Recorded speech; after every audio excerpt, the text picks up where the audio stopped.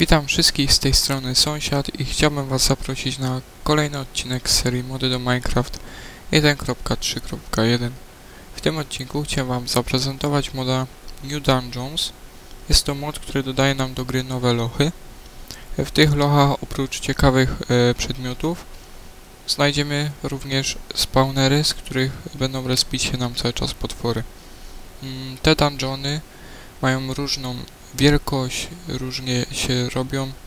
Czasami są podłużne, czasami właśnie takie kwadratowe jak ten. Tutaj Wam na mapce pokażę, chociaż pewnie będzie niewiele widać. Mm, I zazwyczaj jest, są w nich rozbudowane podziemia. E, użyłem tutaj trybu Creative, żebym nie musiał e, walczyć z potworami, ponieważ to by długo trwało. Mm, przepraszam za te lagi. Jak już nieraz wspominałem, mój komputer nie jest yy, jakiś ultra mocny.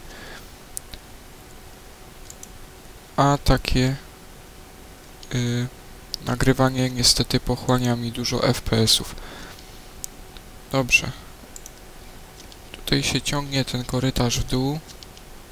Ciągnie i ciągnie.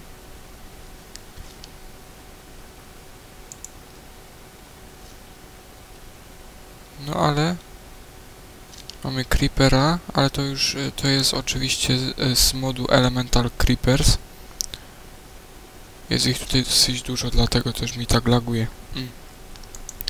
Zobaczmy co tutaj mamy. Mamy statyw alchemiczny, skrzyneczkę, w której są ciekawe przedmioty i kolejną. Ogólnie skrzynek w tych lochach jest bardzo, bardzo dużo. Ja wam pokażę może kolejne pomieszczenie. Jak widzimy są skrzyneczki kolejne. Ciekawe rzeczy w nich są. Trzeba bardzo uważać tutaj na te płytki, ponieważ wdepnięcie na taką płytkę kończy się wybuchem TNT. Czyli myślę standardowa pułapka. Mamy tutaj kolejne skrzynie.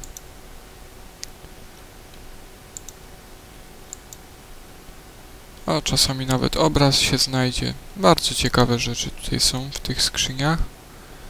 Bardzo Wam tego moda polecam. Mm. Lochy generują się dosyć często. Myślę, że nie będziecie mieć problemów z ich znalezieniem. No i cóż, nie przejdę ich całych, ponieważ film by wtedy strasznie dużo trwał. Sami widzicie.